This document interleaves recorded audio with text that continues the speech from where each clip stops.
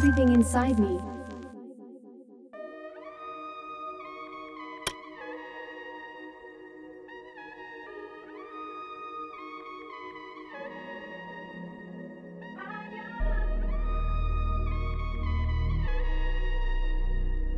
Lola takes place in an insane asylum, with evil nurses and lots of pills. And, through symbolism, the video celebrates the sick world of trauma-based mind control. Iggy Azalea has been churning out albums and music videos for years, and nobody knows exactly why. I mean, most of her albums sell poorly. And critics hate everything she does. And her mentor T.I. called her the biggest blunder of his career. Most damning of all, she is known as nobody's favorite rapper around my living room. This is a headline that sums up the reception of Iggy Azalea's last album. Despite all of these career-ending facts, Iggy is still in the spotlight. She still appears in award shows, and she is still backed by big industry promotional budgets. Why is that? Well, if you often watch videos on this channel, you probably already know the answer. And that answer can be summed up in one of her Instagram pics. This picture, and the many other one-eye pics she took during her career, indicate that she is owned by the industry, and that she is being used to push its agenda. Here's a quick recap of her career. Eight years ago, she released Change Your Life, a video that was all about beta kitten programming. Seven years ago, her performance at the 2014 American Music Awards was a celebration of kitten programming. This could be the official logo of Beta Kitten programming. The face of a cat that has a thunderbolt, representing electroshock torture, splitting its head in half, representing the fracturing of MK slaves. Four years ago, she released the video Savior, which was basically a satanic ritual taking place inside a church, she got married to the devil. In 2019, she released Lola, which is a celebration of her industry slave status. Before we look at the actual video, the symbolism surrounding her new album deserves a closer look. Before I continue the video, please give a like if you've learned something. And, don't forget to subscribe, and also, click the notification bell too, so you won't miss any update. And, watch to the end, to avoid misunderstanding. Thank you.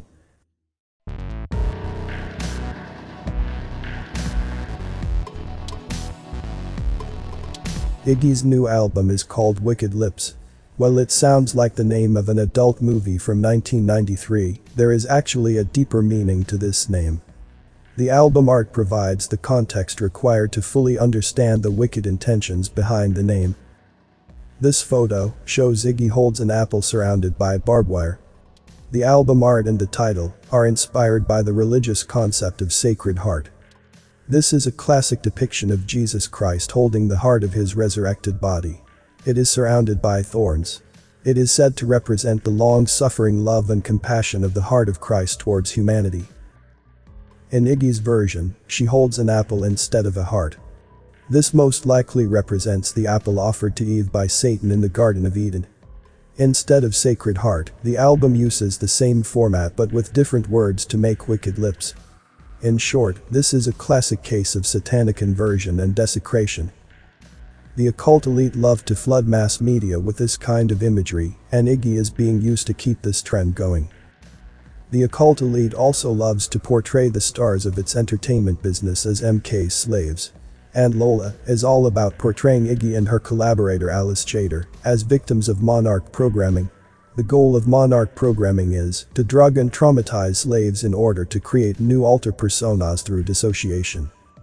Lola goes deep into this sick world while making it fun and sexy.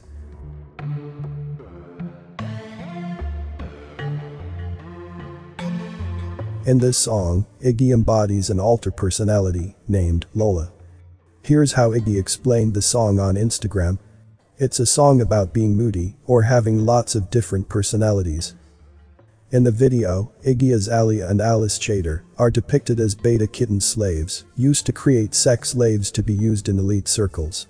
The name Lola itself has historical sensual connotations.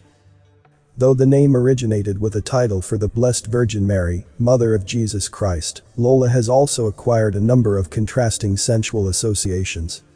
American authors Pamela Redmond Satran and Linda Rosenkrantz noted in their 2008 book Cool Names for Babies that the name has a sultry image and that people associate the name with the song Whatever Lola Wants, Lola Gets from the musical Damn Yankees in which the character of Lola is the devil's best homewrecker.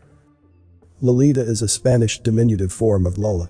The name is sometimes used as a term to indicate a sexually precocious girl due to its association with the title character of Vladimir Nabokov's 1955 novel, Lolita, and its film adaptations in 1962 and 1997.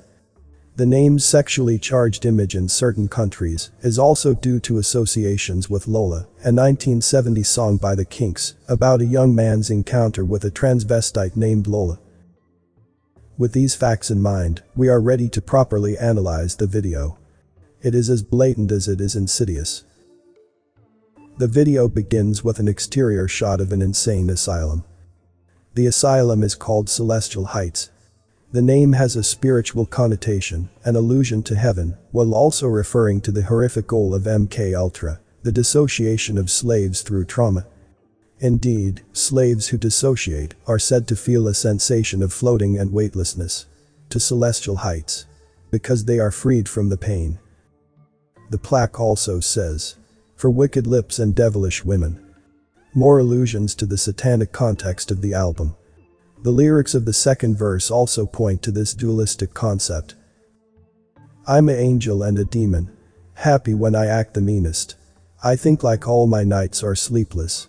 This feels like paradise and dreamin'. He said, Lola, girl, you're evil. Well, maybe you the reason.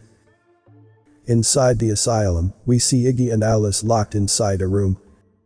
Throughout the video, Iggy and Alice are often dressed the same, alluding to the fact they represent different personas of the same person. Then three nurses enter the room. It is rather clear that the nurses are evil and they're not here to help. They're here to program MK slaves through sadistic practices. The girls are then given pills. Drugs are administered to MK slaves to facilitate dissociation and programming. To illustrate that fact, once they swallow the pills, everything around them becomes colorful and distorted. The bed and clock indicate that they're still in the same room. However, everything around them is different. This scene is on par with other MK-themed media where the slave is at the same exact location, but everything is different and distorted due to dissociation. A classic example of this programming script is the Disney movie Return to Oz, where all of Dorothy's adventures are actually an MK slave's distorted perception of trauma and abuse at an MK programming site. I mean, seriously, Dorothy even gets electroshocked in the movie. In Lola, several visual cues indicate that the girls are actually undergoing beta kitten programming. First, the nurses are fully dressed in feline print. As indicated in previous videos on this channel, feline prints are used in the MK system to indicate beta kitten programming. In the video, it is the programmers who are wearing the print. This is because programmers are often MK slaves themselves. The general behavior of the nurses in the video points towards that fact. Second, take a closer look at Alice's boots. The boots are covered with faces of Marilyn Monroe. As it is often mentioned in this channel, Marilyn Monroe is the patron saint of beta kitten slaves. Nearly all representatives of the beta kitten system and pop culture, that is, Britney Spears, Lindsay Lohan, and many others, give homage to Marilyn Monroe at one point or another in their career. It is almost as if it is a requirement. Then, Iggy is taken by force to another place by the nurses, Notice that all of the pictures and paintings hanging on the wall are distorted and contain pills in them, again, hinting to the drug-induced state of dissociation of the slaves. Here, Iggy and Alice are inside a padded room. In their state of dissociation, their straitjackets become dresses, and their straps now are stylish accessories. Mind control is so cool. Then, through easy to miss details, the video gets even darker. Iggy and Alice dance around as the nurses watch. The objects in this scene imply that, in reality, something much darker is happening here. On the left of this screenshot, we see a privacy screen and an articulated multi-headed lamp. Both of these objects are used in operating rooms. Therefore, in real life, they're undergoing surgery. Why? MK slaves, especially beta kittens, are subjected to lots of surgeries. The torture to the body is painful. The body of many slaves are only kept functioning because they are given repeated surgery by doctors working under the auspices of the Illuminati. These doctors can be trusted on to keep quiet about the abused bodies they have to keep fixing. Then, the girls are taken to another medical room. The room contains two bathtubs full of pills. On the right is a human brain. Once again, this scene refers to specific trauma-based mind control treatments. Here's an excerpt from the formula to create a mind control slave that explains the two bathtubs and the general link between mental asylums and MK programming. Nadine Scala was a nurse in a mental hospital who wrote an expose based on her diary while she worked. Her book is entitled Keeper of the Keys, Westlake Village, California, F&J Publishing Corporation, 1976. The following are quotes from her account of working in a mental hospital. How can they allow such places to exist? Do you remember the young rape victim and how they treated her, the girl with beautiful olive skin and long brown hair? They filled the bathtub with cubes of large ice and dropped her into it. They removed her from that and placed her in scalding hot water. She came out red as a lobster. Her body was badly blistered. According to what Nadine Scala was told, half of the patients in mental hospitals are schizophrenics. A hefty percentage of these schizophrenics are really programmed multiples who are being quietly discarded by the system. How many victims of trauma-based total mind control have ended up sent to mental hospitals? Many tens of thousands, maybe the exact number will never be known. America's mental hospitals have also played an active role in the programming and the research for the programming. The singers laying in the bathtubs as everything swirls around them, due to drugs and dissociation. After the trauma, the girls end back in harsh cold reality. This scene shows Iggy and Alice are back in their room as nurses try to control them. Wow, they are so wild and rebellious. That is what most viewers will think. Despite the fact that the video was about the exact opposite of being rebellious. It was about the complete control and breakdown of the human mind.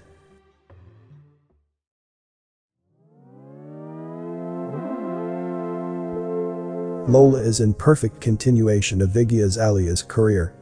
The concept behind her album Wicked Lips is clearly satanic, and the video Lola is clearly a celebration of the occult elite's MK Ultra system. However, these facts are only clear to those who understand the true meaning of the symbolism in the video, while also understanding the sick mindset of the occult elite that rules the industry.